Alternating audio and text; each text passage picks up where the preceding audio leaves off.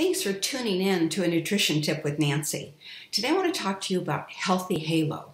You may have heard this term or it may be new to you, but what it means is a product is given a healthy image through what it says on the front of the package, when in fact it may be less healthy than other items.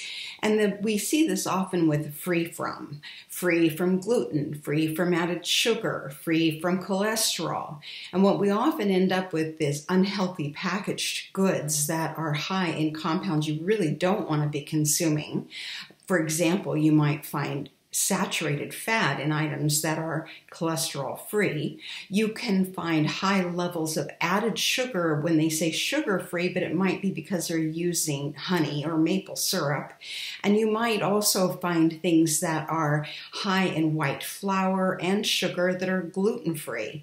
So just because something is free of don't let it influence you and give it a healthy halo. Have you buy it without reading the nutrition label and the ingredient list. What questions do you have? And what products have you seen in the marketplace that you think have a healthy halo?